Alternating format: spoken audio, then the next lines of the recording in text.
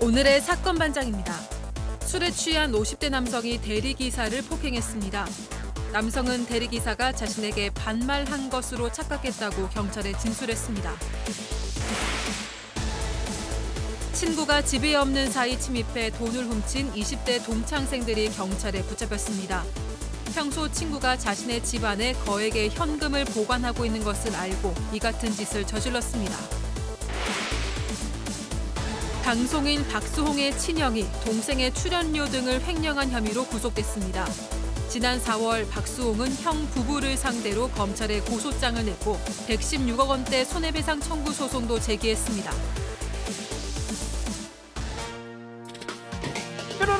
안녕하십니까 자 오늘 정말 준비한 내용이 많아서 쓸데없는 얘기 하지 않고 바로 시작하도록 하겠습니다 예 자 진실 추적자 사건 반장 시작합니다. 이 추석도 지났는데 좀 있으면 10월인데 무슨 가을 태풍 소식이 이렇게 자주 들리나 모르겠습니다. 자 제14호 태풍. 아 난마 돌.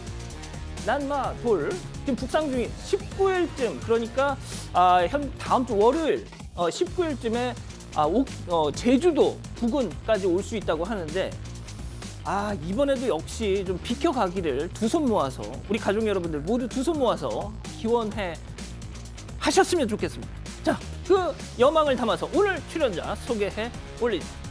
예, 김서연 기자, 박지훈 변호사, 승재현 형사법무정책연구위원, 김은배 전 서울청 팀장 나오셨습니다. 안녕하세요. 안녕하십니까? 안녕하십니까? 예. 자, 인터넷만 겨우 되는 일본의 한 산 속에서 엄마 이모랑 셋이 삽니다. 사반 보는 낙으로 사는 우리 엄마 김정숙 여사, 이모 김순영 여사 이름 좀 불러주세요 하신 세븐님. 자, 평일 저녁 6시 반 커피 한 잔과 함께하는 나의 힐링 타임 하신 전민숙님.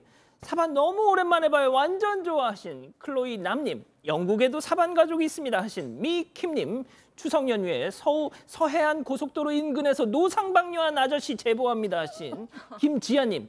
자, 지아님이 저희에게 사진도 보내주셨는데 공개는 하지 않겠습니다. 검은 바지 아저씨 다음에 또 그러면 진짜 그때 사진 공개합니다. 자, 18 펭귄님, 허정숙님, 나루토님, 김라자님 모두 모두 사랑합니다. 자, 재미는 물론 의리로 함께하는 아세이 사반 유세이 육바. 아, 오늘 텐션 좋아요. 사건 반장 대한민국과 전 세계 동포 가족 여러분의 시선을 모아 모아서 출발합니다.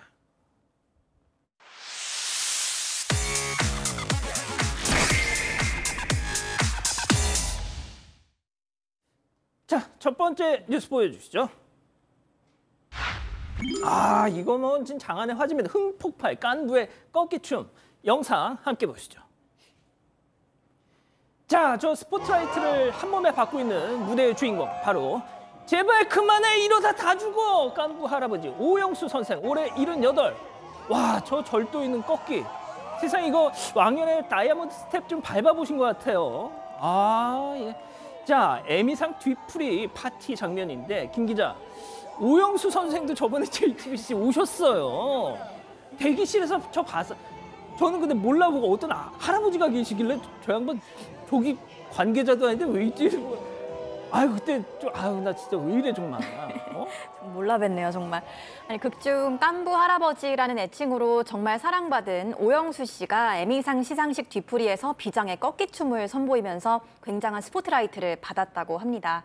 해당 영상이 공개되자 온라인에서도 반응이 굉장히 뜨거워서 하루 만에 조회수 40만에 넘기기도 했는데요.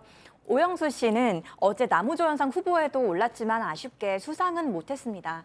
시상식 뒤에 이어진 기자 간담회에서 최선을 다해 남은 연기자 생활을 하겠다고 소감을 밝히셨습니다. 자 그렇습니다. 자 변호사계 이 또 다이아몬드 스텝 하면 우리 또 박지훈 변호사님 아니겠습니까? 그렇죠. 지금 이미 준비를 하려고 일어나 계셔. 좀 잡아주세요. 네. 아니 나 일어나란 말도 안 아니, 아니, 했는데. 오영수 이 배우를 제가 예. 최근에 그 JTBC 왔을 때 만났었습니다. 아 진짜. 알아보셨다면서요? 제가 인사를 좀 드렸어요. 그러니까 그 우리 배우님도 저를 알아보고 사건 반장 보고 있다. 아 진짜요? 그 뒤에 부분은 좀 제가 지어낸 겁니다. 저를 알긴 아우 알- 얄미워. 죽겠어 진짜. 그 부분 지어냈습니다. 예. 사건 반장 보고 있다는 그거. 오늘 제가 지어냈습니다. 지어- 솔직히 저를 알긴 아시더라고요. 알겠습니다. 네. 자 아무튼 일어나신 자, 김에 아, 무대. 스텝 이거 이거 무대 위로 저는 거의 모시겠습니다. 아, 이 시사 방송에서 이걸 할 줄은 꿈에도 몰랐는데. 예. 박지훈, 법조계- 박지훈. 네. 법조계 오영수. 자 아, 스텝 한번 밟아볼까요? 다이아몬드 스텝. 아 너무 좋았어요. 저는 어. 요, 요, 요, 요, 요. 아 이거 다이아몬드 스텝인데. 야 이마리오 선 이마리오 선생의 재현. 아, 네 너무 꺾기를 너무 잘하셔가지고 어, 감동을 받았습니다. 자 우리 박 변호사님 네. 혹시 그 대구에 계신 이 여사님께서도 우리 아들이 이러고 사는 거 아십니까? 어머니 예. 대학 이후로 처음 춤을 춰봤는데 어떻습니까? 네. 아유 네. 어머니 지금 좋아가지고 막 네. 박수 치고 계실 거예요 물개 박수. 아유 감사합니다. 예. 예 알겠습니다. 네. 자리로 들어가 주시고요. 자 우리 김서연 기자는 혹시 다이아몬드 스텝이 뭔지 알아요? 방금 하신 거 아니에요? 다이아몬드. 아니 그러니까 그거의 원조가 누군지 알아요? 어, 아니요. 잘 모르겠어요. 아이고 모른 척하면 한다고 나이가 젊어지는 게 아닙니다. 트위스트 김 이마리 아 이마룡 선생이시죠 이마룡 선생. 자두 번째 잡아주시죠. 두 번째 뉴스 이어갑니다. 누구냐 넌 괴물이니? 아 이거 진짜 저희가 소개했던 그래서 장안의 화제가 됐던 한강 한강 괴 생명체 논란 이거 기억하십니까? 뱀이다 장어다 심지어 부표다 의견 분분했죠. 추가 영상이 선명한 추가 영상이 공개됐습니다. 보시죠. 자, 훨씬 선명합니다. 또렷합니다. 여전히 한강을 S자로 헤엄치고 있는데요. 아, 이거 정말 뭘까요? 뭐, 뭐, 왜 이래? 자, 괴 생명체일까? 아니면 진짜 부표든 뭐든 그냥 이 물난리 와중에 떠내려온 괴 물체일까요? 자, 저번 처음 저희가 공개했던 영상은 차를 타고 가는 와중에 촬영됐던 거라 약간 아, 보, 예, 이게 저희가 처음 공개했던 영상인데 그땐 진짜 좀 멀리서 찍기도 하고 해서 아리송했거든요. 자, 그런데 아, 이 지금 이 자, 지금 새로 공개된 영상 보여 주세요. 자, 이겁니다. 지금 보시는 거. 아, 이거를 보니까 많은 분들이 아, 이건 것 같다 이렇게 얘기를 하시던데 승현 님은 어떻게 보셨어요? 저는 끝까지 이무기라고 생각합니다. 예. 아이 뭐 오늘 방송 감사하고요. 자, 김현배 팀장님은 어떻게 보셨어요? 아 제가 냉철한 시선을 봤더니 어. 저 부표가 있습니다. 저거 뭐냐면 오염물질 제거하는 거. 아, 부표가 맞는 것 같아요. 닮았다. 정확한 것 같습니다. 아. 아, 그런데 이거 이러면 저희가 좀 지난번에 좀 죄송한 게 저는 그 개 생명체라고 얘기를 했거든요. 그러셨어요? 그릿해서 근데 아, 왜 오늘 그래? 지금 보니까 부표가 확실하네요. 아, 그렇구나. 아 죄송합니다. 예 죄송합니다. 자 그런데 이 봉준호 감독이 영화 괴물 이 개봉 당시에 실제 인터뷰에서 그랬습니다. 자기가 고등학교 때 실제 한강 괴물체 한강에서 이 괴물체를 목격하고 거기서 모티브를 얻어서 아, 영화를 제작했다 이런 인터뷰를 했던 적이 있는데 아무튼 참 이 묘합니다. 일단 저희도 저희도 지금 뭐 일단 이게 뭐다라고 단정은 하지 않겠습니다. 자 다음 뉴스 이어가죠. 도로 위의 무법자 견인차 일명 레커차 오늘은 저희가 관련 사고 영상 준비했습니다. 함께 보시죠. 자 고속도로 자 견인 차량들 여기 주르륵 있죠. 어 갓길에 자 그런데 슬금슬금 차선을 변경하는가 싶더니 아이고 세상에 오. 동시에 세 대가 그냥 한 대가 여기 왜 처음에? 있는 거랑 쾅 했네. 아이고 이 잠깐만 이 트럭에 가려져서 약간 그랬던 것 같은데 와 세상에 동시에 차들이 그냥 확 들어오네요. 자, 견인 차량 다들 알 겁니다. 견인 차량들이 경쟁이 붙어 있어요. 지금 이제 주- 정차가 돼 있죠. 사고가 나면 일제히 움직입니다. 그래서 사실 좀 아는 사람들은 저기 사고가 나기 때문에 조금 속도를 줄이는데 우리 블랙박스 차량은 아마 그 잘 몰랐던 것 같아요. 그래서 가다 보니까 결국은 추돌 접촉 사고가 일어난 건데요. 아마 가실 비율을 따져보면 전방 주시의무 위반 때문에 지금 블랙박스 차량도 어느 정도 가실이 있을 것 같고요. 아유 저게 무슨 아유 근데 이제 기본적으로 지금 보- 영상을 보면 알 수 있어요. 지금 나, 올 걸 알 수 있거든요.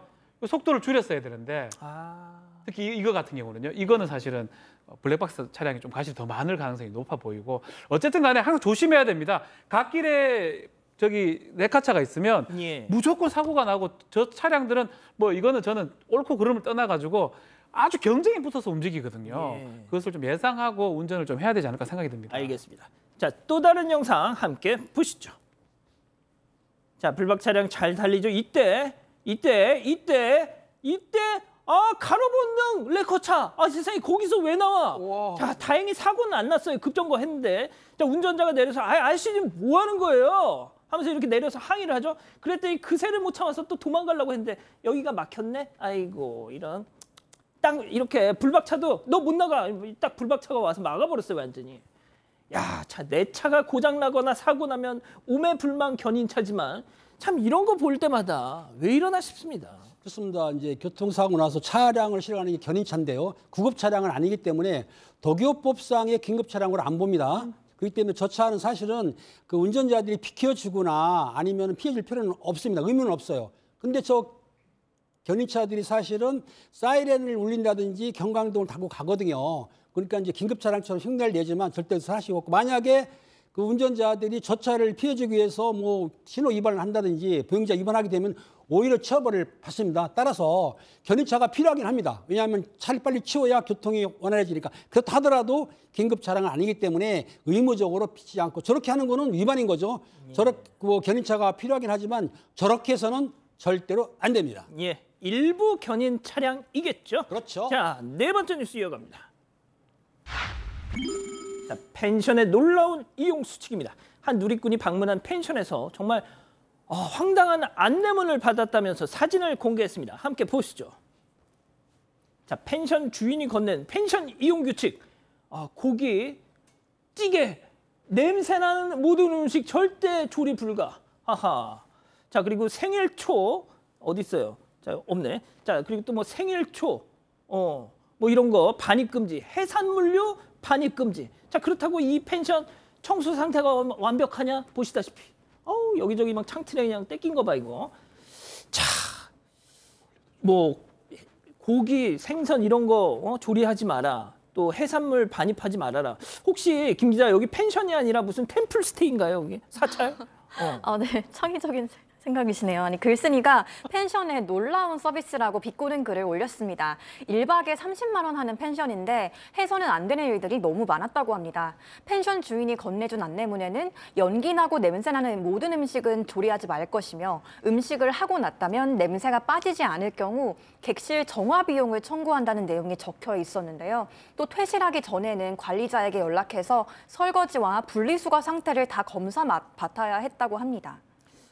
승현님, 네. 1박에 30만 원 주면서 아무것도 하지 말라고 하면은 저는 솔직히 안 갈 것 같아요. 뭐 사실 펜션이라는 게 식구끼리 가서 뭔가 맛있는 거 해 먹고 도란도란 같이 이야기하고 아. 저녁에 좀 뭔가 이렇게 좀 평소에 못했던 거 해보고 싶어서 가는 곳인데 물론 뭐 저는 펜션 주인의 마음도 이해합니다. 일부 진상 손님들 때문에 엉망진창이 되어 있는 그 펜션을 보면 마음이 되게 아팠겠죠. 하지만 저기에 나와 있는 내용들을 읽어보면 저 지금 저 문구 제일 마지막에 보면 예. 안전상의 문제로 개인의 번호 또는 뭐 초를 가지고 없다. 그러니까 제 자식의 생일날 그 케이크에 초도 킬 수 없는 상황을 지금 예상하고 있는 부분이라서 조금 완화했으면 좋지 않을까? 펜션이란 곳은 가족과 함께 맛있는 걸 먹을 수 있는 장소라고 생각하고 갔을 건데 만약에 저렇지 못했다면 아쉬웠을 것이고 다만 그렇게 음식을 해 드셨으면 반드시 깨끗하게 좀 치우고 가시는 서로 간에 같이 양보하는 그런 펜션의 문화 만들었으면 좋겠습니다. 그러니까요. 알겠습니다. 자, 다섯 번째 뉴스도 이어가 볼게요. 직진은 할 만한가요? 아하. 자, 사진 한 장 준비했는데요. 충격적입니다. 함께 보시죠. 자, 세상에. 어우, 세상에 이게 뭐야? 종이 박스가. 아니, 아니, 뒤를 뚫고 나왔어, 지금. 아유, 괜찮아. 그래도 사이드 미러로 보, 보고 가면 되지 뭐. 자, 그런데 조수석 보세요. 여기, 여기도 꽉 찼어. 이거 사이드 미러 조- 운전석에서 안 보여요, 이거.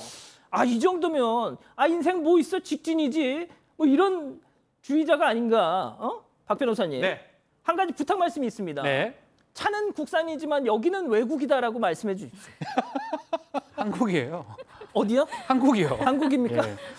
좀 답답한 조국, 대한민국. 우리나라입니다. 우리나라, 우리 콘출이 나라인데 이게 좀 답답한 일이 우리 법에는 도로교통법에 적재 방법에 다 규정이 돼 있습니다. 저게 지금 적재를 저, 저 저렇게 짐이 많으면 트럭에서 실어야지. 저건 승용차잖아요. 승용.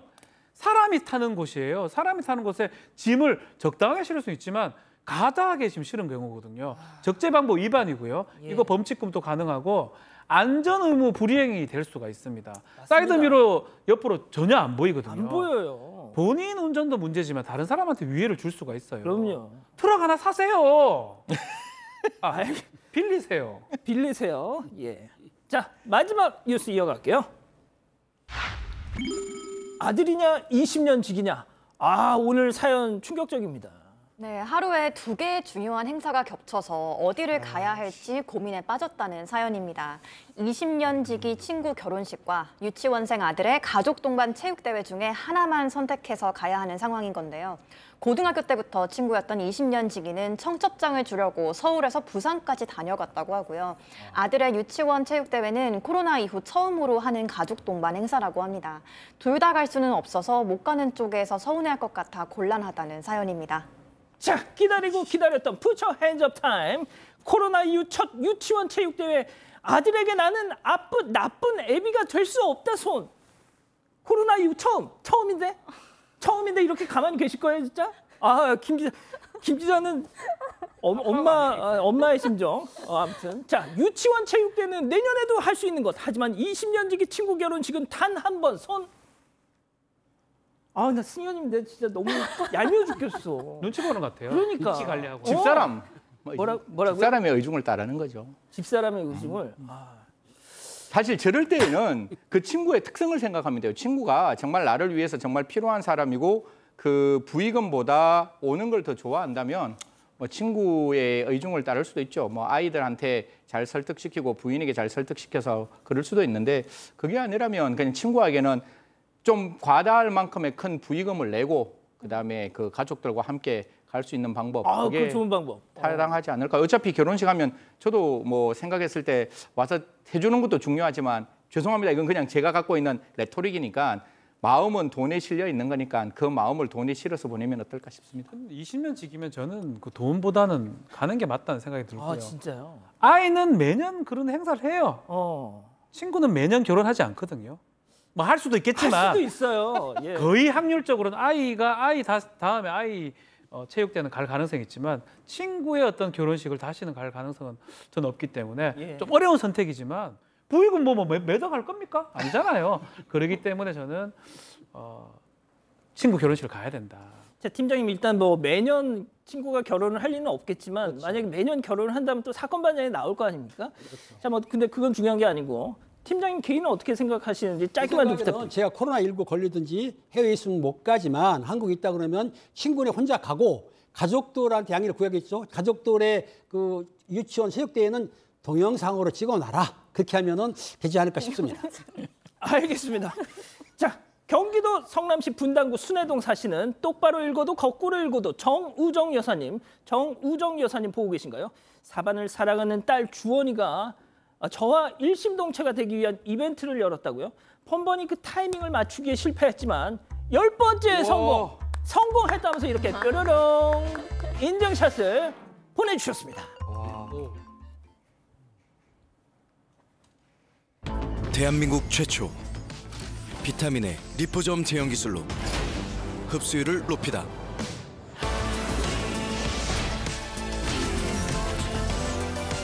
하루틴 리포점 비타민 C 주문하시겠습니까? 알아서 해주세요. 알아서. 코지마만의 GSR 기술이 나에게 맞는 코스를 알아서.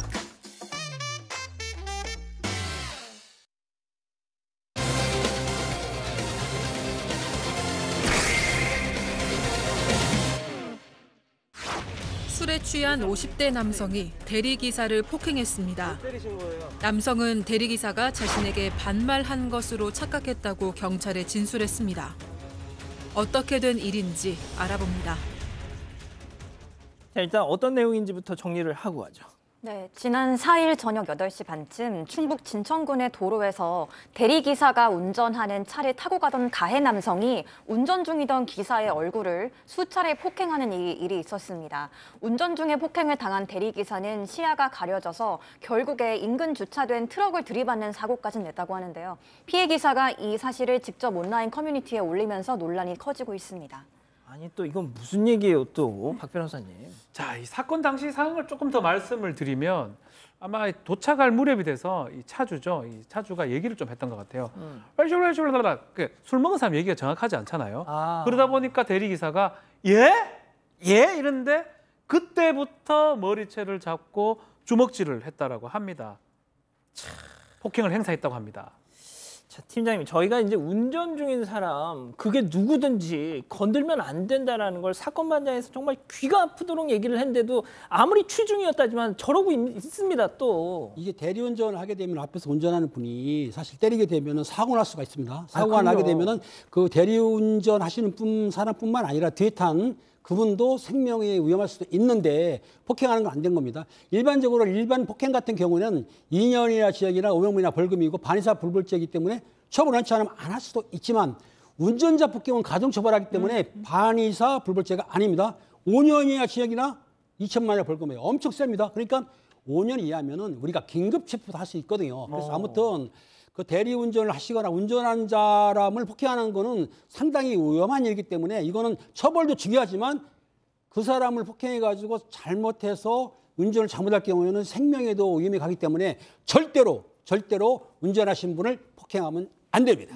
운전자를 폭행하면 운전자도 그렇지만 본인한테도 위험합니다. 자, 피해자가 갑작스런 이 폭행에 정말 놀랐을 것 같은데요.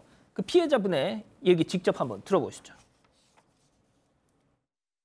갑자기 제 머리카락 뒤를 잡아 당기면서 주먹질이 시작되더라고요. 계속 뒤로 잡아 당기면서 주먹질 하다 보니 제 발은 이제 브레이크에 닿지도 아- 않게 되고 이건 이건 이러다 반대쪽에 차가 있다면 내가 죽을 수도 있겠구나.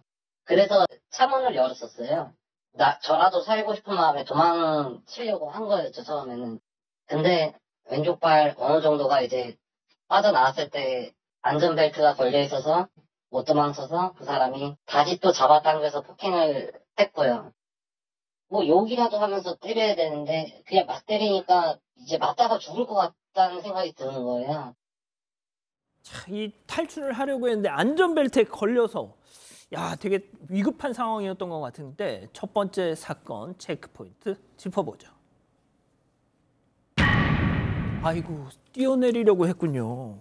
어, 얼마나 심각했으면 좋겠어요, 상황이. 뭐 지금 피해자의 진술을 시청자 여러분들과 저희가 같이 들었지만 사실 폭행을 했는 모습을 보면 다짜고짜 폭행. 그러니까 뭔가 욕설도 하지 않고 뒤에서 이제 시청자 보, 보- 보시면 누가 저 뒤를 이렇게 당기면 이렇게 몸이 될 거 아니에요. 그러면 이 사람의 머리가 천장으로 이렇게 향하게 되면 사실 운전하는 사람 앞쪽을 봐야 되는데 천장을 향하게 돼 있으니까 아무런 상황을 인지할 수 없는 상황이고 뒤로 많이 당기게 되면 다리가 브레이크에 닿지 않는 상황이 될 수 있으니 이 운전자의 입장에서는 굉장히 심각한 상황이고 자칫 잘못하면 생명의 위험을 느낄 수 있는 상황 그 상황에서 뛰어내리려고 이렇게 그 문을 열고 나갔는데 안전벨트 때문에 뛰어내리지 못했다고 하는데 사실 뒤쪽에서 폭행하면 이렇게 굉장히 위험합니다. 그걸 막을 수도 없는 상황이고 그래서 운전자의 공포는 극단에 다다랐을 것이다라는 말씀드리겠습니다.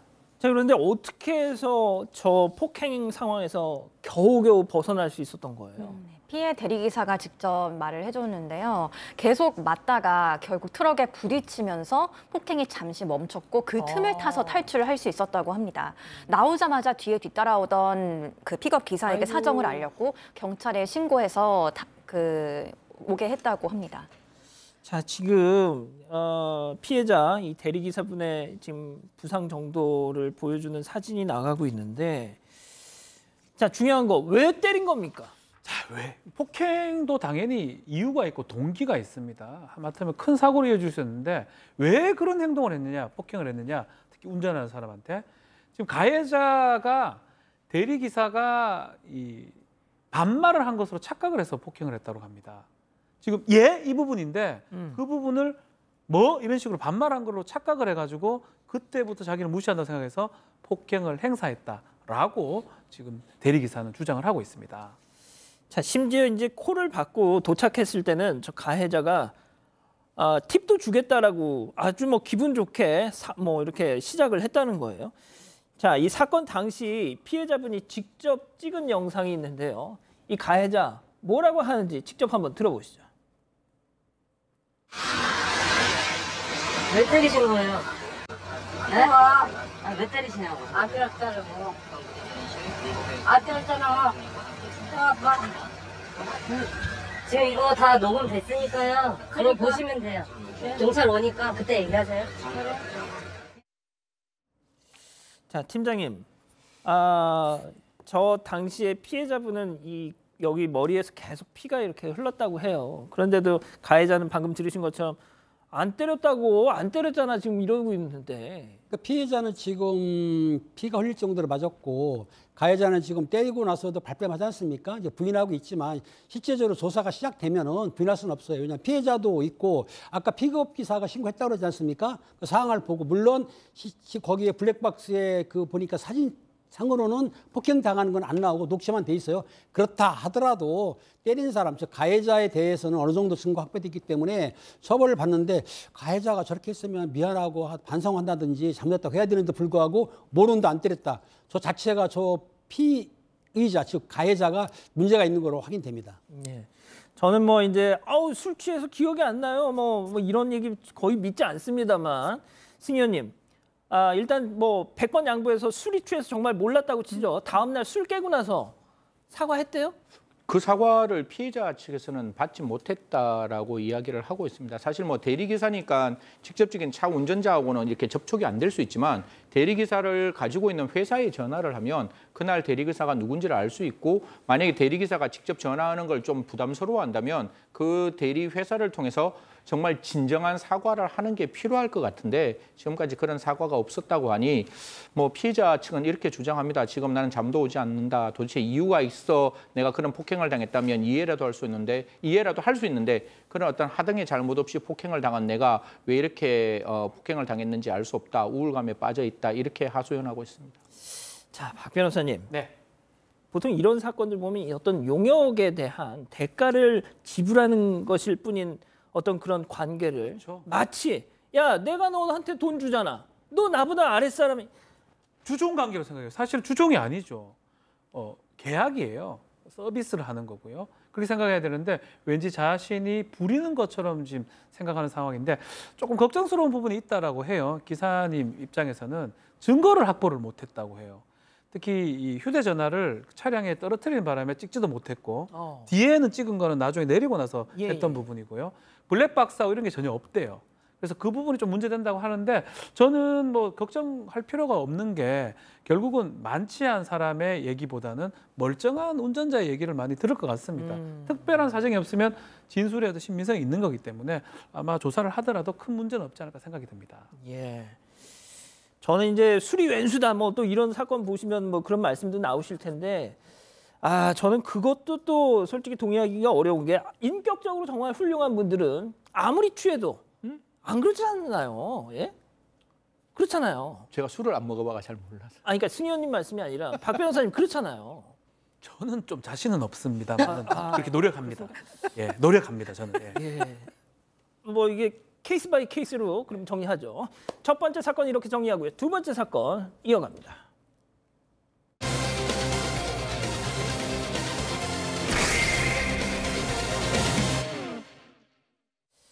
자, 이 사건 정말 참 황당합니다. 20대 남성이 복권에 당첨됐습니다. 정말 축하할 일이죠. 자, 그런데 그 돈이 하루아침에 증발해 버렸어요.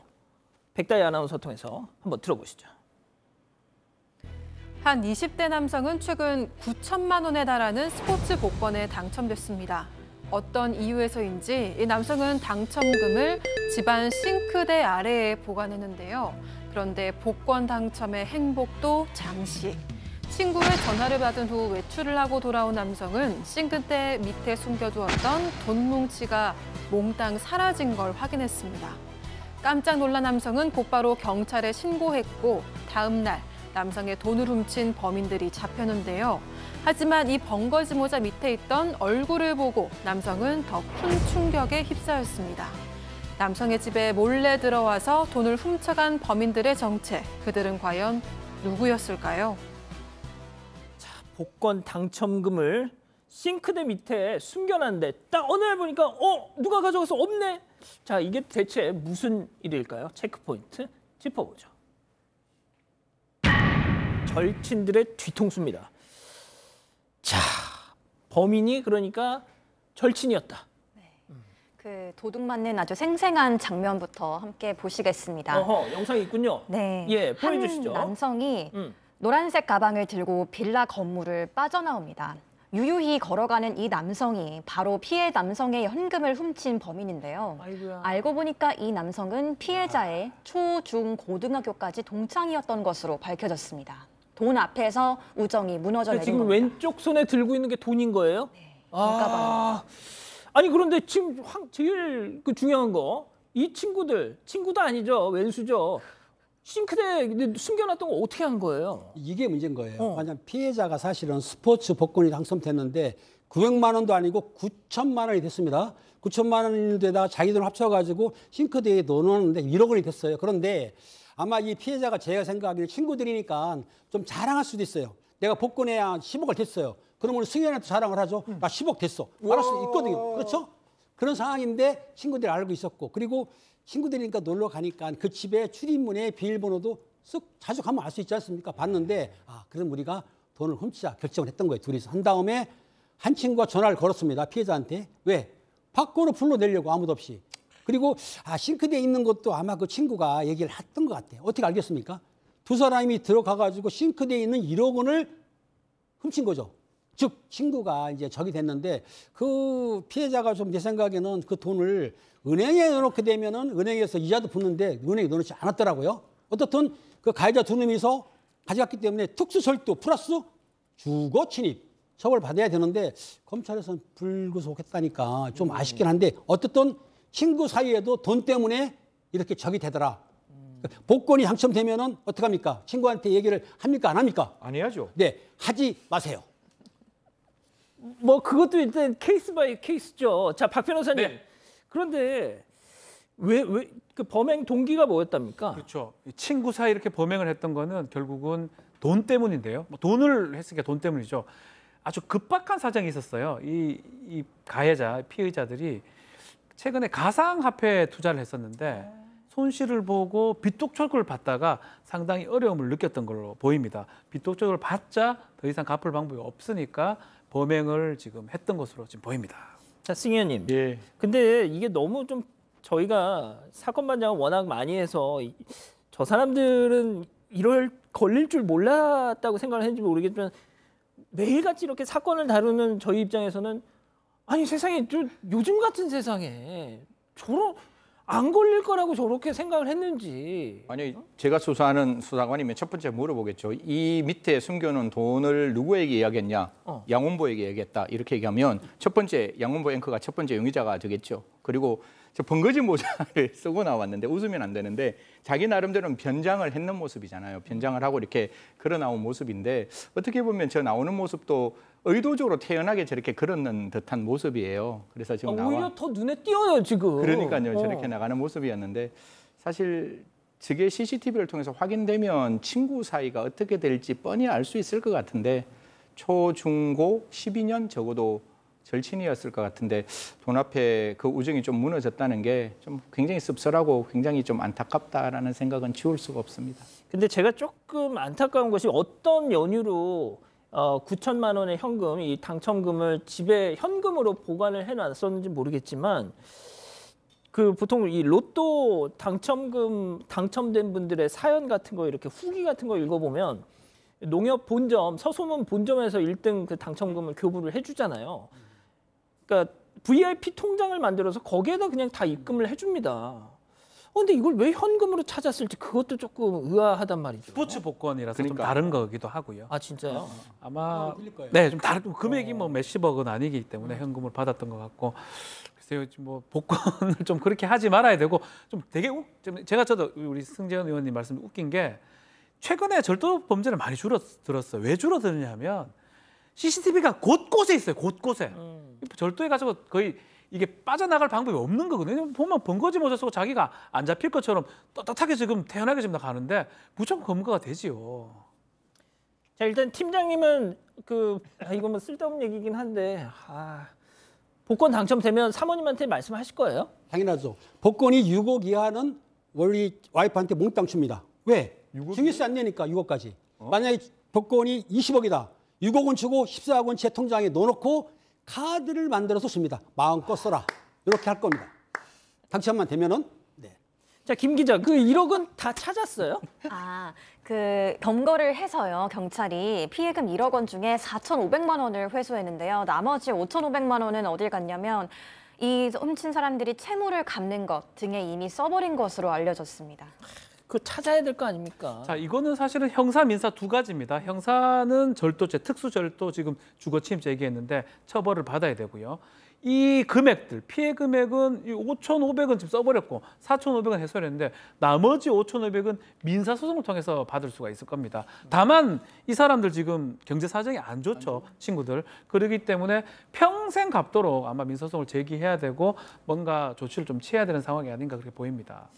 근데 이제 뭐 팀장님도 잠깐 말씀을 하셨지만 아, 이 저희가 이제 너무 이렇게 사건 기사로 뭐 복권 당첨 관련 이 사건 기사를 많이 소개해서 그런지 몰라도 아, 이- 이게 진짜 좀 많은 그 가족 간의 분쟁의 씨앗이 되긴 하더라고요. 그래서 이걸 꼭 가족들에게 공유를 하는 게 좋은 것인지 뭐 친구는 말할 것도 없죠. 아무튼 좀 그런 생각이 들기는 합니다. 자, 두 번째 사건 이렇게 정리하고요. 세 번째 사건 이어갑니다.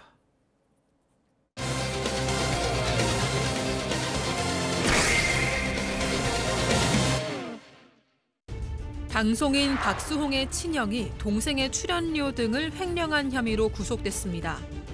지난해 4월 박수홍은 형 부부를 상대로 검찰에 고소장을 냈고 116억 원대 손해배상 청구 소송도 제기했습니다. 지금까지의 상황을 정리합니다.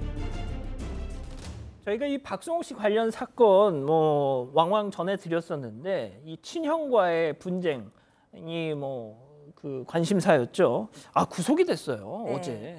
30년 동안 동생 박수홍 씨의 출연료 116억 원을 횡령한 혐의를 받는 친형 박모 씨가 결국 어제 구속됐습니다. 어제 오전 서울 서부지법에서 박 씨에 대한 영장 실질 심사가 진행되는데요. 담당 판사는 증거 인멸과 도망 우려가 있다면서 구속 영장을 발부했습니다. 친형 박 씨는 어제 예정 시간보다 일찍 법원에 도착해서 취재진을 따돌린 것으로 알려졌고 피의자 신문이 종료된 뒤에도 법원과 연결된 검찰청 출입구를 통해 빠져나가서 취재진과는 마주치지 않았다고 합니다. 예. 자 뭐 흔한 말로 음, 음, 연예인 걱정만큼 쓸데없는 걱정이 없다고는 하지만 박수홍 씨의 경우는 가족들한테 또 아, 너무 많은 액수를 이렇게 어떻게 보면 가로챈을 당했다. 이 때문에 뭐 얘기를 안 할 수가 없는데 자, 팀장님 네. 아, 이, 이 동생의 출연료 등등 이 수입을 빼돌렸다는 의혹이 처음 제기됐던 그 계기가 뭐였죠?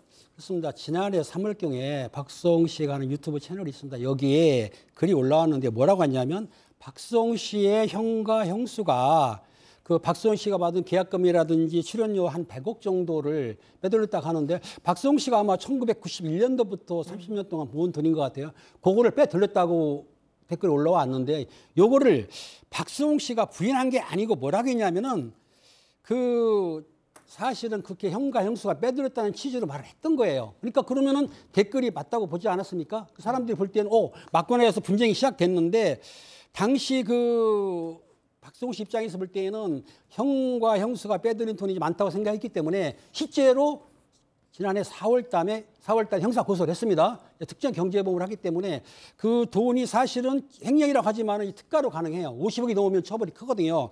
이렇게 고소를 했고 또 6월 달에는 형사 고소 외에 민사 소송을 했는데 무려 손해배상 86억 원을 손해배상 청구를 했고요. 나중에 보니까 또 통장에서 무단으로 인출했다는 거예요. 박수홍 씨 통장에서. 그러니까 플러스가 되니까 무려 116억 원의 돈을 배상하라고 선고를 했던 사건이기 때문에 형제의 난, 형제끼리 돈 때문에 피가 튀기 시작한 거죠. 예. 자, 그래서 친형이 어제 이 구속이 된 겁니다. 그럼 여기서 세 번째 사건 체크포인트 짚어보죠. 최소 21억 원이 무슨 얘기죠? 사실 이게 아까 우리 팀장님이 말씀 주신 바와 같이 금액이 굉장히 큰데 검찰의 입장에서는 원래 구속영장을 청구할 때는 팩트를 청구하는 거예요. 그러니까 만인 살인 사건과 만약에 뭐 강도치사 아니면 강도 살인 중에 이게 확실하게 구속을 하려면 강도살인으로 가면 그만큼 입증이 어렵기 때문에 강도치사로 가듯이 지금은 21억은 명확하게 나왔는 것 같아요. 저도 이 사건 이야기할 때마다 언제나 중립의 입장에서 좌우의 생각을 같이 이야기했는데 이미 이제 구속영장이 나온다는 거는 범죄의 소명이 어느 정도 됐다는 건데 첫 번째 이게 다른 허위의 인건비로 19억을 분명히 가져갔다. 이거는 이제 확인되는 것이고 예. 법인 카드 있잖아요. 예. 그 카드로 1억을 사용했고 법인 계좌에서 1억을 빼냈다. 이까지는 확인이 됐는 것 같아요. 그래서 그 부분 21억에 대해서만 지금 영장에 적시를 했고 적시한 영장을 판단했을 때 우리 형사소송법에서 두 세 가지를 판단하는 거죠. 범죄의 소명이 있고 도망할 우려, 증거인멸의 우려가 있는데 범죄가 소명됐고 구속의 상당성인 도망할 우려, 증거인멸의 우려가 있다라고 판단 한 것으로 보입니다. 예. 자, 박 변호사님은 네. 개인적으로도 이 박송 씨하고. 친분이 예, 있잖아요. 예. 자, 그런데 그 실제 막 힘들어하는 모습 옆에서 자주 그 보셨었죠? 방송을 좀 오래 같이 를 해가지고 또 형도 제가 몇 번 봤었고요. 이제 매- 매니저를 같이 하니- 하니까. 뭐 어, 근데 좀 이번에 그- 구속된 친형. 예, 근데 구체적인 뭐 내용은 제가 알 수는 없었는데 또 그런 얘기를 또 하- 저한테 하거나 뭐 그러지는 않았기 음. 때문에 어쨌든 간에 그 이후에 금액이 박수홍 씨 측은 116억 정도 횡령을 했을 것이다. 음. 지금 좀 전에 지금 얘기한 것처럼 검찰에서 지금 소명됐거나 확인된 거는 21억 정도 어. 될 거 되는 것 같아요. 116억이냐 21억이냐. 근데 사실은 딱 소명되거나 확인된 게 21억이고 아마 조사를 좀 더 한다 그러면 더 늘어날 가능성도 있을 거고요. 이 116억조차도 공소시효하고 저 소멸시효에 받는 것 같아요. 민사 형사심 다 넣었거든요. 음. 사기죄도 10년이고 일반 채권도 10년의 소멸시효가 있습니다. 음. 그러니까 10년 정도만 지금 계산한 거예요. 아, 그러니까 박수홍 씨가 방송 활동을 한 게 거진 뭐 30년 30 정도 년이다 제가 알기로 보니까 됐거든요. 그때부터 매니저 일을 형이 해줬으니 했으면 그럼 나머지 더20 되겠죠. 아이고야. 더 되는데 10년만 지금 계산해서 116억에다 주장을 한 거고 또 그 중에 검찰에서 아니면 경찰 단계에서 확인된 건 21억 정도 되는 것 같고요. 앞으로 검찰 수사 과정에서 금액도 늘어날 수도 있고 공범관계 늘어날 수 있어요. 뭐 형수라든지 뭐 관계자들 그런 것들도 아마 좀 지켜봐야 될 부분 같습니다. 자, 이런 가운데 지금 또 무슨 얘기까지 나오냐면 말이죠. 이 어, 박송 씨 친형, 구속된 친형이 에, 보유한 재산이 최소 100억이 넘는다. 뭐 이런 얘기까지 나오더라고요. 네. 그 어제 연예 전문 유튜버 이진호 씨가 박수홍이 형에게 먼저 손을 내밀었다 이런 내용의 영상을 공개했습니다. 지난해 10월 열렸던 첫 공판에서 박수홍 측은 형과 수익을 7대 3 비율로 나누기로 했다는 녹취록을 제시하면서 원고와 피고의 전체 재산을 그렇게 나누자고 제의를 했지만 피고 측에서 이를 거부했다고 밝힌 바 있습니다. 이진호 씨도 이 점을 짚으면서 공증을 통해 재산을 합쳐서 박수홍이 7, 형이 3 이렇게 갖기로 나누면 최소 60억 원 이상은 친형 부부가 가져갈 수 있지만 거절당한 거라고 말을 했는데요. 아무래도 그 형이 박수홍의 재산이 얼마가 되는지 명확하게 알고 있는 것 같다면서 7대 3으로 나누면 본인이 가진 돈보다 덜 갖게 되는 거를 계산을 한 거라고 주장했습니다. 아, 내가 더 가져갈 수 있는데 7대 3으로 내가 합의할 이유가 없다. 뭐 이런 얘기인 거죠. 쉽게 말하면.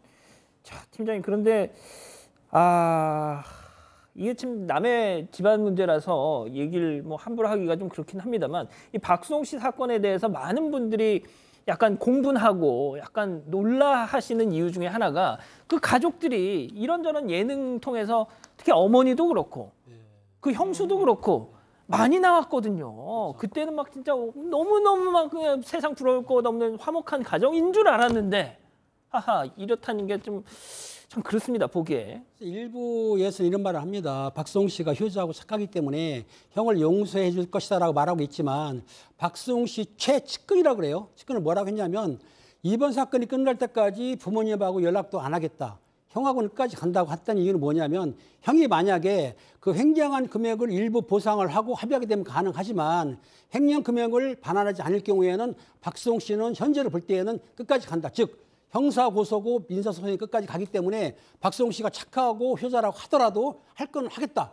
이렇게 명확한 의지를 보인 것 같습니다. 승현이 만약에 이 지금 박수홍 씨의 어, 형에 대한 이 어, 갖고 있는 의심이 모두 다 사실로 밝혀지면 와 이거 세게 처벌받을 것 같은데요. 음, 이게 특정 경제 가중 처벌법상의 횡령이 돼요. 왜냐하면 5억 미만이면 형법상의 횡령이 되는데 5억 지금 나와 있는 게 21억이잖아요. 그럼 특정 경제 가중 처벌법에 가는데 이게 5억 이상이면 법정형은 3년 이상으로 되어 있는데 그 양형 기준이라는 게 따로 또 만들어져 있습니다. 그래서 5억에서 50억까지는 우리 양형 기준에서는 이, 보통형이 2년에서 5년, 많이 높아봤자 한 6년 정도로 나와 있어서 사실 이게 금전적인 어떤 경제 범죄라서 양형 기준이 생각보다는 낮게 법정형보다 낮게 되어 있는데요. 지금 이제 그 시청자 여러분들께서 그런 이야기를 하시잖아요. 아니 친형 사이면 많이 이제 우리 시- 시청자 여러분 친족 상도례라는 거 이제 많이 들어보셨잖아요.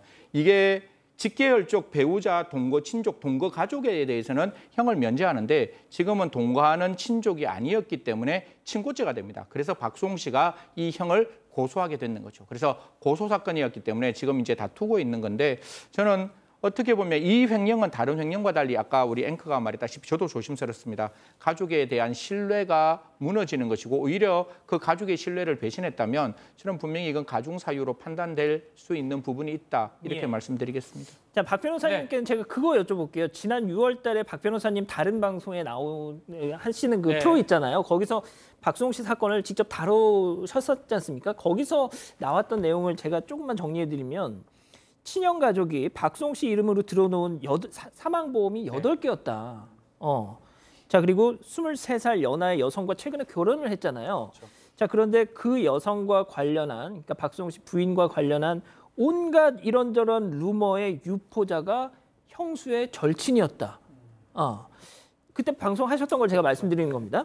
그리고 어, 녹음 파일도 그때 박수홍 씨가 그 방송에서 공개를 했잖아요. 거기 보면은 친형 왈, 야 부모 형제를 자르든지, 어 여자 그러니까 그 부인, 어 여자를 자르든지 네 사주가 그래. 그러니까 이게 어떻게 보면 야 너 가족이 엄마 아빠야 형이야 아니면 네네 와이프야 약간 이런 느낌이잖아요. 좀 마- 뭐좀 말하기 조금 불편한 부분도 있긴 한데 박수홍 씨는 그 전까지는 이제 조금 무시하고 이렇게 그 돈 부분에 무시하고 살다가 아마 새롭게 이제 가정을 꾸리면서 그때부터 이제 이걸 제대로 좀 챙겨야 되겠다라는 게 됐고 그게 시발점이 돼서 지금까지 이 구속 또 소송까지 이어진 게 아닌가 생각이 듭니다. 예. 아 이거 뭐 좀 좀 앞으로 좀 계속 지켜볼게요. 자 오늘 사건은 이 정도로 정리하고요. 다음은 별별 상담소 이어갑니다.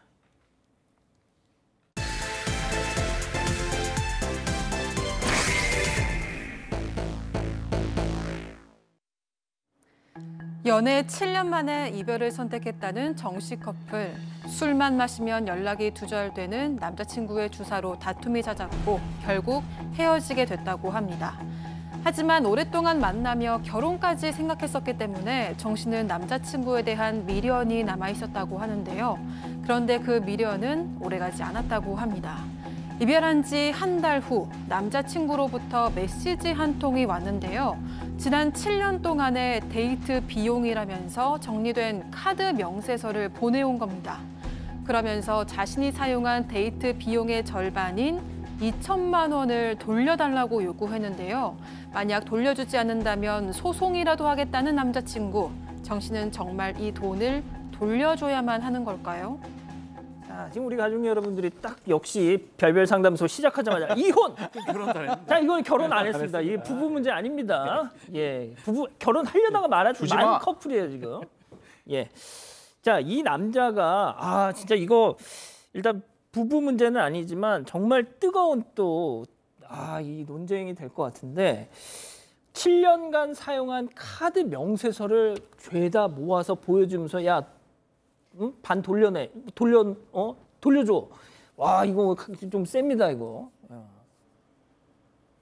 네, 맞습니다. 어, 이 왜, 남자의 왜, 경우 그랬다고 왜 말을 안. 왜 뜸을 들여 왜 질문을 안 하셔서 제 순간 기다리고 있습니다. 죄송합니다. 어, 질문인데 이게 아, 아무튼 얘기하세요 어. 근데 정 씨는 돈을 돌려달라고 하는 남자친구의 요구도 당황스러웠지만 7년이나 연애하면서 쌓은 추억마저도 모두 영수증으로 처리된 것 같아서 마음이 더 씁쓸했다고 하는데요. 절반의 비용을 돌려주지 않으면 정말 소송을 당하게 되는 건 아닌지 걱정이라고 합니다. 정 씨의 고민을 별별 상담소에서 해결해 주세요. 알겠습니다 자 본격적으로 사연을 좀 풀어볼게요 아 일단 두 사람이 헤어진 이유는 이 남자의 술버릇 때문이었다 음. 네. 음. 그 술을 좋아하는 남자와 또 술을 좋아 아, 술 자리는 좋아하지만 술을 못 마시는 정 씨 이렇게 두 커플은 7년간 연애를 했는데요. 두 사람의 데이트 마지막은 늘 술자리였다고 합니다. 음, 두 사람이 함께하는 자리에서는 별 문제가 없었는데 문제는 남자친구가 따로 혼자 술 약속을 잡을 때가 문제였습니다. 그 술에 취하면 잠이 드는 습관 때문에 연락이 두절되는 일이 잦았던 건데요. 남자친구가 술 약속을 잡는 날이면 정 씨는 늦게까지 잠도 못 자고 연락을 기다리는 일이 다반사여서 술 마신 다음 날은 늘 다퉜고 남자친구는 다시는 취하도록 마시지 않겠다고 약속하기를 반복했다고 합니다.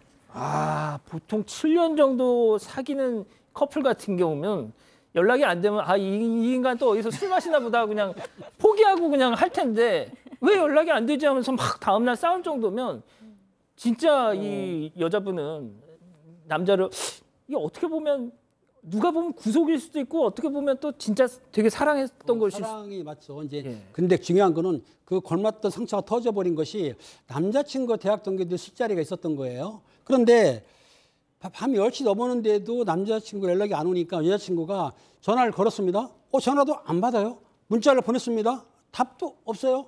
카톡을 보냈습니다. 답도 없어요. 이거 열받는 거거든요. 그래서 이 사람이 정말로 내 전화 안 받냐고 열받았고 자고 있는데 새벽 2시에 갑자기 전화가 온 거예요. 깜짝 놀랐죠. 보니까 어디냐? 경찰서거든요. 경찰서 연락이 왔는데 뭐냐면 남자친구가 술 취해가지고 길에 쓰러져 있는 거를 경찰관이 보호하지 않습니까? 그러니까 보호해서 왔는데도 불구하고 경찰서에서 난동을 부렸다는 거예요. 아이고. 어, 이 남자가 이 간이 배 밖으로 나온 거 맞죠? 이 큰일 날 남자인데 어떻든 간에 그 남자는 기억을 잃어가지고 블랙아웃이 된 거죠. 우리 앵커님도 블랙아웃 된 적 있습니까? 아, 저는 술을 못 마십니다. 아, 근데 아, 못 마셔요? 예, 예. 오케이. 아무튼 간에 이 남자친구가 술을 먹고 블랙아웃 되니까는 자기의 지갑도 잊어버리고 가방도 잊어버렸는데 다행히 휴대폰은 어디에 넣어놓는다? 주머니에 넣어놨다. 전화 연락이 된 거예요. 그래서 연락이 했던 건데 이 여자친구가 가만히 보니까 남자친구가 그전부터 술이 항상 많이 먹었지 않습니까? 이건 습관이 아니고 중독이다. 아, 이 남자하고 결혼해서는 내가 미래가 보장이 안 된다. 해서 우리 그만 이젠 너 때문에 안 되니까 이별하자고 이별 통보를 하게 된 거죠. 아, 자 일단 술 때문에 조금 이런 게 문제가 있는 사람은 피하는 게 상책인 것 같습니다. 제가 이제 사건 반장을 진행하면서 온갖 이런 흉악한 사건들을 어, 보면서 내린 저 나름의 결론인데, 자 일단 그게 중요한 게 아니고. 일단 헤어진 이 전 남자친구가 데이트 비용의 절반을 요구했다는 게 오늘의 핵심이잖아요. 그러면 평소 이 데이트 비용을 주로 남자가 내 가지고 야 너무 많이 내가 썼어 좀 돌, 돌려줘 이건가요? 왜 말씀을 오늘 때는 왜 다들 말씀을 안 하셔 왜? 아니 너무 이것도 질문이 아닌 거 아니. 아니 어. 이게 이게 크, 이걸 이렇게 돌려달라고 하는 게 참좀 아, 어. 마음이 그런데 이거 그냥 정확하게 설명드릴게요. 처음에 만나면 보통은 이렇게 이게 뭐 제가 어떤 그 젠더의 문제가 아니라 남성들이 좀 쓰잖아요. 그래서 남자가 돈을 좀 썼답니다. 그리고 난 다음에 이제 이 여성이 정 씨가 취업을 한대요. 취업하고 난 다음에 또 정 씨가 또 썼대요. 그리고 난 다음에 뒤에 남성이 취업하고 난 다음에는 어느 정도 반반 썼다는 게 이 정 씨 측의 주장이고 한 7년 정도 사귀면 제가 봤을 때 사실상 결혼을 전제로 만나는 것 같으면 제가 봤을 때 여자친구의 돈은 여자친구의 돈이고 내 돈도 여자친구의 돈인 거지 이걸 뭐 나중에 헤어졌다고 돌려달라고 하는 건지 아휴, 저는 모르겠는데 제 머릿속에서는 회로가 잘 만들어지지가 않습니다. 그러니까요. 이게 남자가 만약에 일방적으로 데이트 비용을 댔다라면 저는 뭐 그래도 조금 그런데 아 이거 줘야지. 같이 먹었잖아. 혼자 먹은 거 아니잖아. 남자가 다 내도 같이 먹었잖아요. 그 먹는 모습이 얼마나 행복했어요. 아닌가? 내 회로에서는 그런데 제 회로에서는 그런데. 하여튼 그래요. 자 박 변호사님, 그 해로는 그런 것 같은데요. 아, 네. 좀, 좀 진행, 진행을 못 하겠어 예, 아무튼. 저 해로는 제가 알 수가 없지만 예, 네. 박 변호사님. 아, 일단은 정리를 좀 했던 것 같아요. 특히 이제 둘이 데이트하면서 썼던 거, 선물 줬던 거 대략 한 4천만 원 정도가 되는데 지금 말한 것처럼 그 중에 2천만 원 정도를 좀 돌려달라. 근데 이제 사실 이게 좀 뭐 법적인 건 4천만 아니고 원? 정리를 엑셀 파일로 깔끔하게 해놓은 것 같아요. 엑셀 파일로 좀 조금 그렇긴 한데 3천 원 이하짜리 결제 금액까지 꼼꼼하게 엑셀로 정리가 돼서 그걸 보면서는 조금 그랬답니다. 아 이것까지 좀 달라나 어쨌든 간에 4천 정도 썼는데 그중에 절반 2천만 원 돌려달라라고 요청을 한 겁니다. 자, 그리고 이것도 또 그렇습니다. 그러니까 선물값, 선물값의 절반도 내놔라. 그렇습니다. 7년 동안 연애하면서 남성이 여성한테 선물하는 거는 잘 보려고 선물하는 거예요. 나쁜 말로 꼬시려고 하는 건데 그거를 절반을 달라? 이 남자 정말 치사합니다. 근데 중요한 건 뭐냐면 그 물건이 중국 가격이잖아요. 그 절반을 달라고 했어요. 했는데 또 웃기는 게 뭐냐면 선물값에 생일 케이크 값이 있다고 하는데 생일날에는 케이크도 하지만 선물도 해야 되잖아요. 케이크를 샀는데 케이크는 자기가 다 먹었어. 근데 케이크 값도 올린 거야. 남자가 다 먹었는데 다 먹었대요. 아. 여자는 한두 번 떴겠죠, 예쁘게. 남자 다 먹었어요. 그것도 포함시켰고. 그리고 1, 7년 동안에 한 400만 원 정도 선물을 했는데 1년에 60만 원밖에 안 됩니다. 이거 참 치사한 남자인데. 마지막으로 더 웃기는 게 있어요. 아니, 가운데에 놀러 가면 저희가 이제 마른 거 반찬을 사오지 않습니까? 뭐포 같은 거. 황태포를 샀는데 부모님을 드리려고 샀어요. 아니, 이것도 영수증 가지고 그것도 달라고 그랬다고 하면은 이 남자 내가 볼 때는 남자 맞습니까? 기함하겠는데요. 네. 아, 정말 여자가 아니, 기함할 정도로 근데 거죠. 그 지금 네. 어, 이- 오늘 주제는 가르마 잘 타셔야 됩니다. 이거 어. 워낙 이 남녀간의 이 요즘 이 젠더 이 갈등이 심해서 네. 아, 물론 이제 이 사연 속의 남성 뭐 엑셀로 정리해가지고 한 건 좀 많이 좀 심하긴 한데 이거 그냥 우리 승현님처럼 인기 관리 차원에서 아, 정말이라니까 딱 진심이라니까. 벌써 어 저 승현님처럼 낭만적인 남자 만나고 싶어요. 지금 아니 이런 그게 아니고 정- 이런 아니, 거 의식하면서 진실로, 그렇게 진실로 진실로 진실로 말하노니 10만 안티 양병설이 또 이거 진짜 어, 뭐, 지금 뭐 아, 아무튼 자, 이 승현님 좀 잡아주지 마세요, 잠깐만. 예. 자, 그 김소연 기자는 어때요? 진짜 이런 남성 이 만약에 있다라면 어, 아 절대 안 만나죠. 아 절대 안 네. 만나죠. 아니, 그러니까 근데 이거는 제가 개인적으로 아는 어떤 친구의 실제 사례인데 아, 어떤 남자가 되게 명품 시계 수백만 원짜리를 선물을 했어요. 근데 당연히 부담스럽죠. 하지만 어, 선물이라니까 받았어요. 자 그런데 아, 한, 한 달쯤 뒤에 결혼 얘기를 꺼낸 거예요. 아 이거는 또 생각이 좀 깊어져야 할 문제 아닙니까? 그러니까 미리 이제 그 명품 시계로 딱 밑밥을 깐 거예요. 그러나 결혼 얘기를 탁 꺼냈어. 아, 마음의 준비가 안 돼 있는데, 어? 그래서 거절을 했대. 부담스러운 선물은 어. 받지 말아야죠. 그, 그 다음에 무슨 얘기 했을 것 같아요? 돌려달라. 돌려달라. 그래서 돌려줬대요. 그건 그렇지. 부담스러우니까. 아, 내가, 자, 아무튼 이 남자의 계산법. 뭐 자기가 다 혼자 써서 좀 돌려달라 하는 것도 아니고 그이정씨 여성도 함께 썼다는 거 아니에요. 네, 어. 정씨 입장에서는 그래서 되게 어이없는 계산법일 텐데요. 정 씨도 돈을 안 낸 게 아니라 어, 오히려 계산을 하면은 자신이 돌려주는 게 아니라 받아야 되는 수준이라고 합니다. 왜냐하면 카페에 가도 정 씨는 아메리카노만 마셨는데 남자친구는 커피를 못 마신다고 늘 비싼 요거트나 과일 주스를 마셨고 밥을 먹더라도 양이 적은 정 씨는 1인분도 채 못 먹었지만 남자친구는 식탐이 많아서 늘 2, 3인분씩 먹었다는 겁니다. 게다가 저녁 식사할 때 늘 술을 시켰는데 술은 남자친구 혼자 다 마셨으니까 그 비용 역시 정 씨 입장에서는 손해라는 겁니다. 남자친구는 생일에도 꽃 한 송이에 케이크 하나가 선물의 전부였다면은 정 씨는 넥타이에 지갑 이런 고가의 선물도 많이 했다고 하거든요.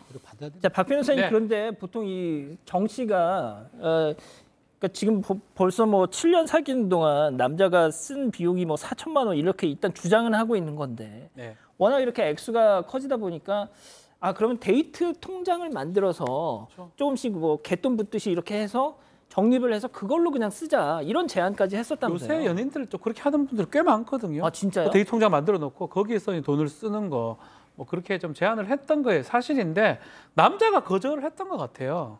뭘 그렇게 하냐. 아, 야, 이런 것까지 만들어 이렇게. 그래놓고 또 나중에 또 좀 다르게 좀 행동하긴 하는데 아하. 어쨌든 그 당시에 연인 통장 하나 만들어서 우리 해보자라고 이 제안을 했는데 남자 친구가 거절을 했고요.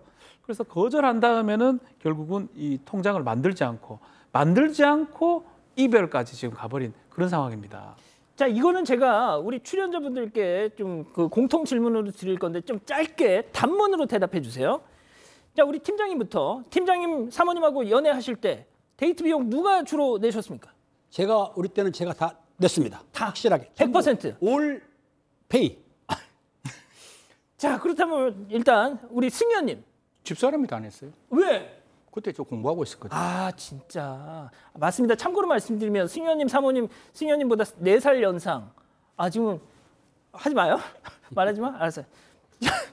자 박규 변호사님 100%입니다. 누구? 제가 냅니다. 저는 뭐 성격이 좀 그래서 그럼 저도 뭐. 연인이든 여기 어. 여기 있는 사람도 마찬가지로 제가 여건이 되면 제가 내는 걸 너무 좋아합니다. 아, 우리 시청자분들한테 마찬가지고요. 그렇 네. 그런 마음이에요. 마음으로. 자, 김 기자 질문 할까요 말까요? 어, 어떤 질문? 아, 데이트 비용. 어, 데이트 비용 저는 능력껏 부담하는 게 맞다고 생각하고 저도 능력이 되면은 저도 사거든요.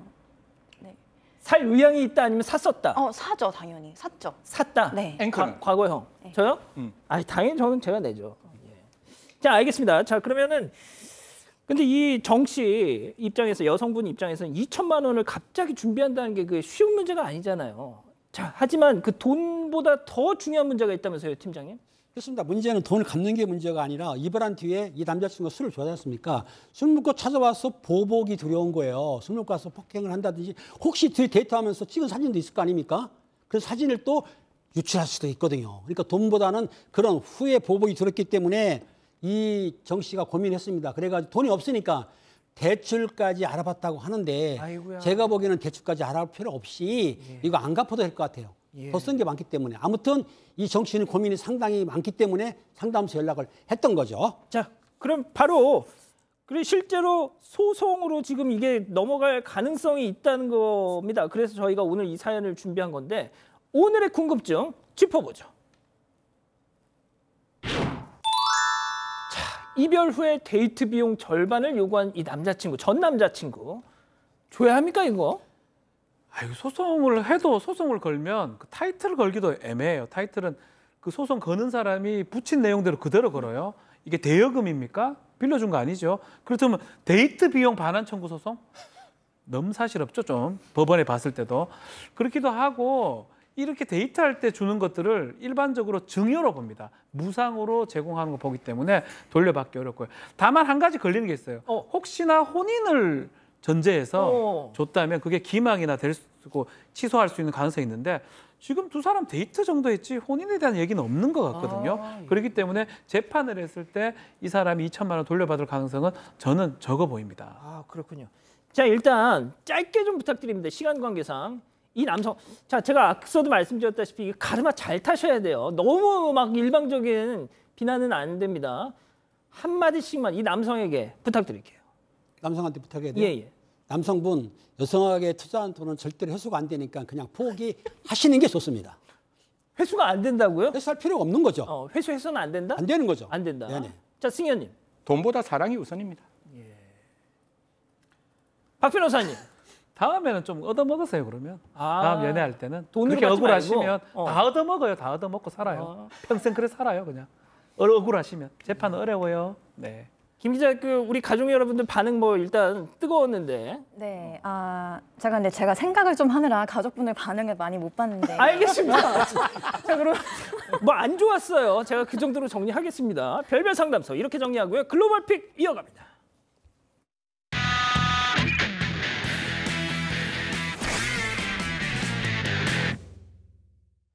첫 번째 pick 영국으로 가보시죠. 네, 이곳은 엘리자베스 2세 여왕의 시신이 도착한 에든버러 홀리루드 궁전입니다.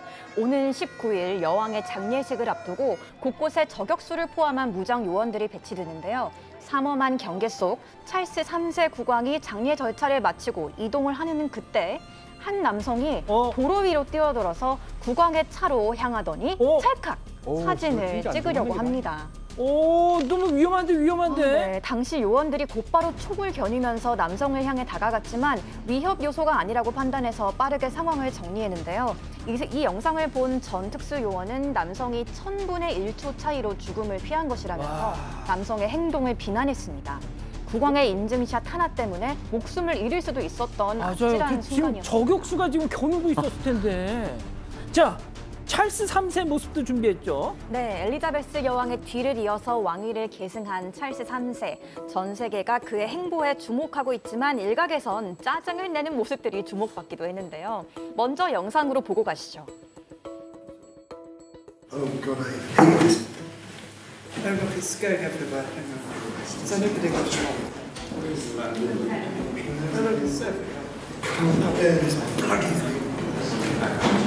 Oh. 스보러 성을 방문했을 때 일어난 일인데요. 방명록에 서명을 하던 도중 펜에서 잉크가 흐르자 짜증 섞인 반응을 보인 겁니다. 아유 그냥 플러스 펜 이거 300원짜리 있으면 제일 좋은데 이거. 네, 국왕으로서 첫 행보였던 즉위식 찰스 3세가 공식 문서에 서명을 했습니다. 그런데 펜이 놓인 쟁반이 거슬렸는지 얼굴을 찌푸리면서 미는 신용을 하는데요. 그러자 수행원이 황급히 달려와서 물건을 치우기 시작합니다. 네, 당시의 모습 하필이면 전 세계로 생중계되고 있었습니다. 그러니까. 찰스 3세는 평소 수줍음이 많고 속마음을 잘 드러내지 않는 탓에 예민한 영혼이라는 평가가 많은데요. 그런 그가 영국 국민의 마음을 파고들 수 있을지 앞으로의 행보도 기대해 보겠습니다. 자 다음 장면 아 두 왕자 모습 오랜만입니다. 네, 영국 왕실에서 오랜 기간 갈등을 빚어온 윌리엄 해리 왕자 부부가 공식 성사, 석상에 나란히 등장했습니다. 이날 두 부부는 윈저성 앞으로 함께 걸어 나와서 추모객과 인사를 나눴는데요. 그런데 누리꾼들이 주목한 건 두 왕자가 아내를 향해 보인 태도였습니다. 어허. 해리 왕자, 윌리엄 왕세자와는 달리 부인의 손을 꼭 잡은 채 걸음을 옮기고요. 차를 탈 때도 부인의 문을 직접 열어준 뒤 탑승할 자, 때까지 한번 보죠. 한번 보죠. 네. 어 일단 뒷좌석 문을 어 일단 열어줍니다. 어 형은 형 내외는 그냥 따로 탔는데 네. 동생은 부인을 저렇게 문 열어주고 자기 자리로 가. 아 네, 탑승할 때까지 기다렸다가 문을 닫는 모습입니다. 이걸 본 누리꾼들은 해리 왕자를 향해서 진정한 왕자다, 영국 신사답다는 평가를 보내며 호감을 쏟아냈다고 하네요. 알겠습니다. 다음은 중국으로 가보시죠. 자, 승객들이 버스에 하나둘씩 탑승을 하고 있습니다. 이때 뒷문에서 짐을 한가득 싣고 나타난 여성이 있는데요. 자, 커다란 비닐봉지가 쓰러지지 않도록 이리저리 중심을 옮겨본 뒤에 자리에 앉은 이런 모습입니다. 자, 잠시 후에 한 정류장에서 버스 뒷문이 열리자 뒤편에 앉아있던 남성이 내리는 어? 듯 하더니 갑자기 여성의 짐을 버스 밖으로 마구마구 던집니다. 어 지금 사람까지 밀어왔어요. 네네. 뭐, 뭐예요, 여성의? 등을 어, 발길을 떠밀어서 내쫓은 뒤 다시는 탑승하지 못하도록 발길질까지 날렸는데요. 하지만 더 놀라운 것은 이 남성을 그 누구도 제지하지 않고 버스가 그대로 출발해 버렸다는 점입니다. 이때 버스에 남은 여성의 짐을 건네받은 남성 뒷문을 잠시 열어달라고 소리친 후에 길가로 짐을 휙 던져 버렸습니다. 아, 저, 저 사람 뭐예요 저거? 여성이 커다란 짐을 들고 탑승했을 당시에 버스 기사하고 다툼이 조금 벌어졌던 건데 버스 기사가 여성한테 짐이 좀 많으니까 요금을 추가로 지불해라 말했는데 여성이 이를 거절을 했던 거예요. 이후에 버스 안에서 말싸움이 계속되자 여성 때문에 버스가 지연된다고 생각했던 남성이 난폭하게 내쫓았던 것입니다. 화를 참지 못한 남성 결국 여성의 신고로 경찰에 체포돼서 조사를 받고 있습니다. 아유 저렇게까지 해.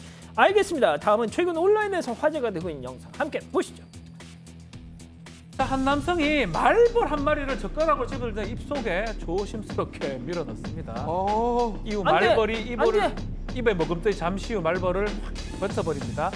말벌에 쏘인 남성! 놀랍기는커녕 자, 퉁퉁 부은 입술을 가시한 듯한 모습을 보이고 있습니다. 이 남성 53만 명의 유튜브 구독자를 거느린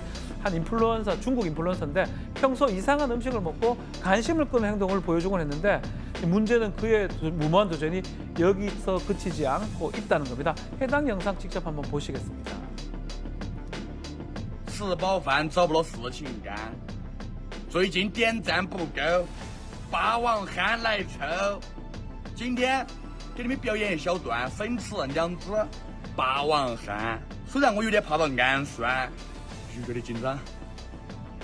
Cảm ơn anh ra. 까. 자, 지난번에 이어서 이번에 두, 마, 두 마리를 이제 말벌을 지금 먹는 아, 모양새거든요. 네. 음. 나중에 알겠지만 이건 사실 먹고 나서 입에 큰 어떤 소세지 같이 이렇게 부풀러 올라서 상처가 생깁니다. 예. 아무튼 이런 거 따라하지 마시고요. 하지도 않으시겠지만 정말 위험한 행동입니다. 결국 이 사람 계정을 차단당했다고. 네. 자, 사랑하는 사건 반장 가족 여러분, 시원한 밤 되시고요. 저희는 내일도 별이 여섯 개 반, 사반 육반 저녁 여섯 시 반에 다시 옵니다. 자나깨나 코로나 조심. 안녕히 계십시오.